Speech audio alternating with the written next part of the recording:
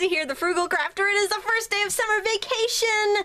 I am so excited and I just snuck down here for a couple minutes to do a very quick watercolor tutorial inspired by the walk I took this morning with one of my daughters and my dog and I picked up um, actually, I picked these up in my own yard, some clover and some buttercups, and I saw a lot of daisies out while I was walking. So I thought we could do a little uh, quick and easy composition with daisies, buttercups, and clover. So I think I'm just going to do one daisy, and I want you to start, I'll draw a little darker than I want you to so you can see it, but I'd like you to start by drawing an oval or an ellipse, um, kind of like, oh, just a little bit of left to center there. And then put a smaller oval in the middle and that's going to be the yellow center. And then um, just like we're doing points on a compass I want you to put some uh, oval long oval petals around your daisy. Now see how they're shorter as they as they approach the um, the thinner part of your circle, that's a perspective. And because if the flower's tipped away from you, you'll see it more like that. If, if you're facing it straight on, you would have more like a sun ray effect. Kind of like that sunflower uh, tutorial we did a couple weeks ago, or a week or two ago. I don't know, whenever we did that. But um, so anyway, just go ahead and fill in with your petals. You don't really need one to look at for this because we've all seen a bazillion daisies. But I do notice that once you start painting, um, I think you'll notice this, is that you will begin to really see things. Instead of just really just looking at them, you'll really see them and observe. And um, that's very, you know, that's very important for a painter. And then I'm just going to throw in a, a stem. All right, and, and it wouldn't hurt to go through at this point this is a brand new mechanical pencil. Um, and just erased a little extra line, you know, that first ellipse line. You don't really need all of that. And I know some of you guys are bothered by the pencil marks. They don't bother me anymore. I actually think it's kind of like a roadmap to how I created the the piece, but if you don't like those pencil marks, you can go ahead and lighten them right now. All right, in the buttercups, we'll sketch on a few of those. And um, so these are kind of like circles if we look at them, and it helps if you have some in your yard and you can kind of turn them away. Like I love the way that looks from behind, so I think I'll put one up here from behind and start with that oval. And we can see the stem, so I'm just going to go ahead and throw that stem from the center. And we get these, these like five little, almost like a little star with these green um, so those green little bits there. And then we've got these big saucery type petals. And then just put those big saucery petals in like that. See how easy that is. And, you know, so that's a nice thing about working from life. And you can throw a couple little buds on there if you want to. And a lot of times I'll just kind of make it up as I go. I may put a couple down here that are more like facing us or facing off to the edge a little bit. So take your time in the composition and it's going to make the painting a snap. And these uh, petals pretty much fill out fill the entire circle, so you don't have to worry about um, about uh, you know erasing too much afterwards. And then the others will be clover, and we're going to paint those in. I'll just put in a few little stems for my clover because I just want to paint that in and, and I'll show you how to do that without drawing it. It's very, very easy. Maybe we could just throw, I don't even think we need to paint the leaves. We'll just, we'll just, uh, we'll just go along like that. Okay, so we have our composition and um, if you want to put a background in, uh, we're not going to do a background. We're just going to keep it nice and easy. I want to work with a number six round or so. I think that's what we got here, or five rounds, something like that. I think that'll do the uh, that'll work for everything we're going to paint here. And um, let's start with our stems and a little uh, sap green or hook, hooker's green, whatever you have. This is hooker's green and I feel like it's a little too dark and I'm going to warm it up with a little bit of yellow ochre. Let's get a little bit of that in there. That will give me a nice earthy color. And um, I'm working on dry paper with a fully loaded brush and I'm just going to pull down my stems. I had a very um, fabulous cup of coffee. Okay, a couple. Okay, you know the size of my coffee cups, right? So I had two of those coffee bowls this morning, and I think my hands are a little shaky. oh my goodness. So hopefully your lines will be a little bit steadier than mine. And I'm just going to kind of throw in the little bit of, uh, kind of, I don't know what do you call them, those little, it's like those little star things that are on the back of this flower here. But um, they kind of wrap up around the little butter buttercup buds that we have. And then I'm going to go right in with some uh, cadmium yellow.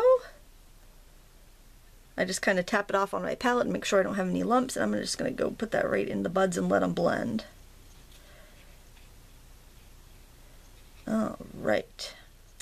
And then I think I will go right to the middle of my daisy. I, I didn't need to wash my brush. I don't know why I did. Um, and I'm going to go ahead and put in this nice yellow. And then I think just to add a little bit of contrast, I'm going to go in with a little bit of yellow ochre uh, in the center there or off to the edge somewhere just to give it a little bit of an extra texture, extra texture. Make it a little bit fancier. All right, now we're going to um, paint our little clover and we're going to need some purple and if you have purple you can use it and if not mix ultramarine blue and alizarin crimson. I'm going to use the purple and then I'm also going to use some of this uh, nice rose color that I have on my palette because it's just kind of kind of pretty. I like to sometimes change my palettes that I'm using because I do have several because uh, I've been painting for a long time. And uh, and then this is great. You want to load up your brush with your lighter color. And then uh, where you want your clover, you're just going to tap and let the let the um you let your brush do all the work. You just kind of tap it in. Tap, tap, tap. Your, your brush is pointing to the top of the flower. And I just love the way the colors mix and mingle and just get that beautiful um, clovery look. That's the thing about wildflower flowers. You have this very, um, you a very nice light, splashy look that is so well represented in watercolor. And I've got I've got a little extra over there, so I may end up uh, turning that into a bug or uh, making another clover over there. I feel like I want another one too because I just really like to make them, so I think I'll put one up here. Tap, tap, tap. And then go in with your slightly darker shade and tap, tap, tap on the bottom. Alright, and then before it dries, use the end of your brush or credit card scraper and just scratch in some of the like, little textures, the little individual petals, just some lines, and it's just going to hint at it. I think it's nice to have like a little book of watercolor postcards or maybe make a little journal with some of your favorite watercolor paper and uh, keep a little palette of colors with you and then you can be, you know, have it in the car or in your purse and be ready to capture wildflowers or whatever you see throughout the summer. I'm going to go back in with some of that green. I'm going to take the hooker's green. This time I'm going to add some of the cadmium yellow to it. So I get a nice springier green and I'm going to add that to my clover and just kind of follow my uh, petals down and then I want to paint, I'm actually going to add um, the uh, petals, they should be more hooker's green, they're a little darker. I am just going to press and lift and twist, press and lift and twist, press and lift and twist and just kind of throw um, throw my petals in like that. Just make sure you have plenty of paint on there. This is not, uh, this brush I think has been used for things other than watercolor because it's not behaving quite as I would like, but that's alright. Another couple little groups of leaves, maybe from behind there. Alright, now I'm going to paint the buttercups. I'm just going to use a cadmium yellow and uh, just go ahead and color, fill those leaves in. And you can always go back in after you have, um, after your paint is dried and go in with a soft white eraser and you can remove a lot of the lines too if they bother you. Or you could sketch it all in with um, watercolor pencils and then you could, you know, they, will dissolve as you go. Use a little bit of uh, yellow ochre in the center. Just kind of tap some in and then just tap in a tiny little bit of green in there, just on the one that's facing us. A little bit more of that yellow on the edges though. It seems to be a little pale. I'll let it do its thing. Now for the um, daisy, I'm actually going to water down some of that purpley color. And I think I'm going to use a little ultramarine blue. I'm just making some pale shades. I can do the ultramarine blue. Let's do that up here where you can see it. Ultramarine blue and a little yellow ochre. And that will give me kind of a grayish color that I can work with. Oops, I just picked up some green. Let's wipe that out and try that again. Alright, we're going to do a little ultramarine and yellow ochre. Probably confused you except put the yellow ochre first. And it does have a little bit of a green bias, but it's um it's mainly the ultramarine. Alright, so between that and a little bit of um, watered down purpley color, And we could even do some of that purple with the ultramarine blue. We'll have some nice colors too, because it's hard to paint white things and make them still look white. And that's what we're going to do here. Okay, and have a napkin handy so that you can blot your brush so you don't get too much color. All right, so now what I'm going to do is just pick up a little bit of that. Um, I'm to stick my finger in the purple there.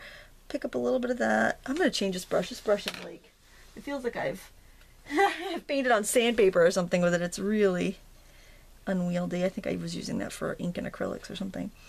Um, I'm just going in with a little bit of that gray on the petals in the back and take as much time as you want with it. I'm just doing a very quick, easy breezy, but you can do it however you want. This is just a greeting card, I'm not going to worry about it. And then I'm just going to pick up some of this other color. See, I blot it so I don't get a charge it with too much color and just kind of go throw it in some of these other petals. I'm just kind of defining it, like I'm putting in the shadows. A little bit more with a little bit of the pink. and you know blot it if you need to don't feel like you know it's there and it's permanent and blot it off if you need to you can press your napkin right against the paper nothing's that permanent here especially these Canson watercolor cards they have a good amount of sizing I think they're all uh, I don't think there's any cotton in them I think they're all paper pulp and they are heavily sized so you can get rid of mistakes now I do want to warm it up a little bit so I'm going to do a little watery yellow ochre on its own See how very, very pale wash is here. And I'm going to throw a little bit here and there just to show the light hitting it. Alright, so there we have a very easy painting. Of course, I never think it's quite done until I splatter on some colors. And I real I'm to need a juicy brush for that. I my uh, my my desk is all discombobulated today. Um, so I'm to use some of that uh, mauve, some of that um, red. I'm to splash some of that on there. Then I'm to grab some more of that purple. And do some of that green. Mix it right in there with that yellow on my palette. And I can blot anywhere where I feel it's a little too much. And then I can just sign my name or my initials with a decent brush. A better brush than the one that I was trying to paint with. I'll just put my initials down here in the corner. LMW14 and um, there you have it. A very quick and easy painting that I do hope you try soon. Thank you so much for watching. Have a wonderful summer vacation. I'll be back with daily quick and easy tutorials. So please do give me a thumbs up and subscribe so you don't miss any more of them. Uh, thanks so much for watching. Until next time happy crafting